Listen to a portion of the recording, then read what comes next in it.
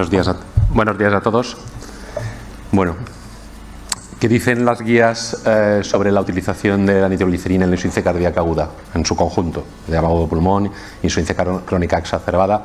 Pues las guías europeas en el 2005 eh, nos dicen que los vasodilatadores están indicadas en la mayoría de pacientes, es decir, sería una indicación 1A, es decir, deberíamos de emplearlas en todo. En el 2008 que las empleamos de forma precoz en los servicios de urgencias y las recomiendan con tensiones de 110, con precaución entre 90 y 110. Ojo, ¿eh? o sea que no las contraindica. ¿eh? Nos están diciendo que incluso un paciente de cardíaca con tensiones de 90 a 110 eh, la utilicen. En el 2012 hay una crisis con los vasodilatadores y dices que no hay datos firmes que eh, demuestren que alivien o mejoren lo que, los síntomas y signos clínicos y los resultados clínicos de morbimortalidad y las dejan abiertas que se utilicen en pacientes con hipertensión arterial y que eviten eh, pacientes con tensiones por debajo de 110. Y finalmente en el 2016, que son las guías que son todavía vigentes de las guías europeas, nos dicen que debemos de emplearla en pacientes por encima de 90 y que el paciente no tenga lo que es una hipotensión sintomática. Esto es lo que nos dicen lo que son las guías actuales. Vale.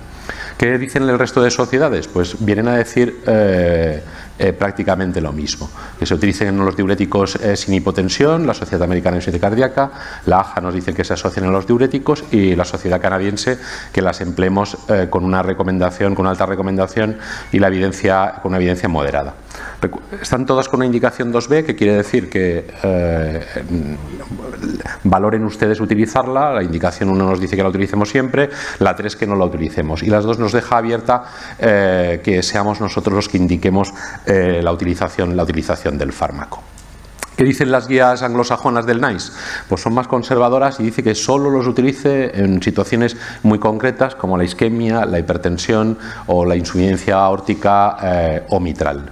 ¿Qué dice la revisión de la COIRAN? La COIRAN es la que está en contra. Dice que no hay ningún tipo de estudio que haya demostrado, de acuerdo, decir, que la nitroglicerina mejore al tratamiento convencional eh, que ustedes hacen. ¿Vale?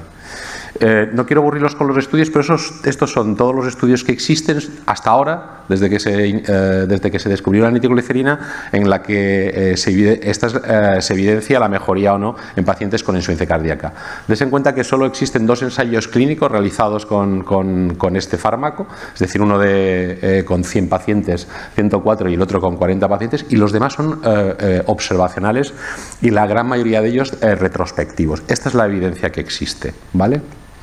Bueno, eh, nosotros de acuerdo también colocamos nuestro, nuestro granito de arena y es una de las mayores series que existen. Y lo que hicimos es ver, recoger todas las insuficiencias cardíacas, hacer un propensity score, que es coger dos grupos homogéneos, dos grupos homogéneos y ver lo que ocurría en aquellos que se les administraba y no se les administraba.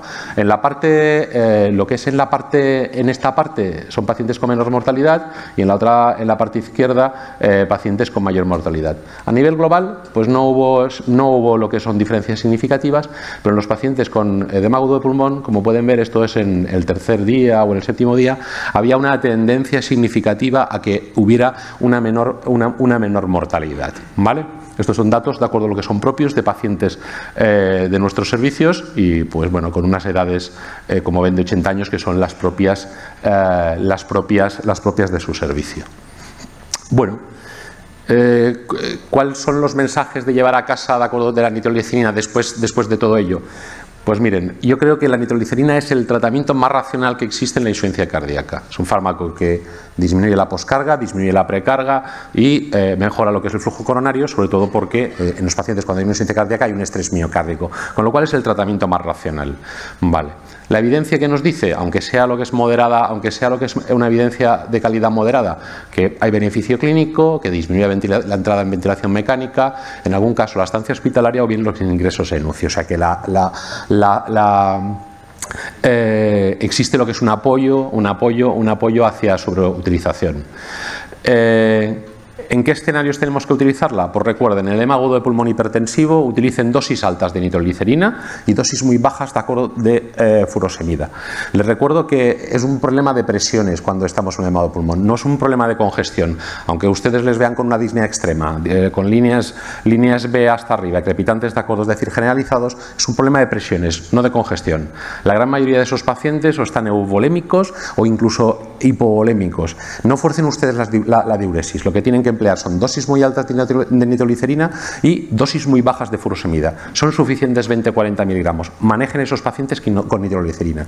Los pacientes con una insuficiencia cardíaca crónica exacerbada, con tensiones por, encima de 140, utilicen ustedes siempre de acuerdo a la nitroglicerina asociada al tratamiento, al tratamiento diurético. ¿Qué cantidad de tratamiento, es decir, qué cantidad o qué eh, dosis de, diurético tenemos que emplear? Pues bueno, depende de que si el paciente está, está tomando o no tomando diuréticos. 40 miligramos serían suficientes si no toma, o por lo menos de acuerdo a la misma dosis intravenosa si el paciente está tomando lo que es diuréticos. Si el paciente está tomando 80 miligramos de furosemida al día, pónganle un bolo de 80 miligramos lo que es al día.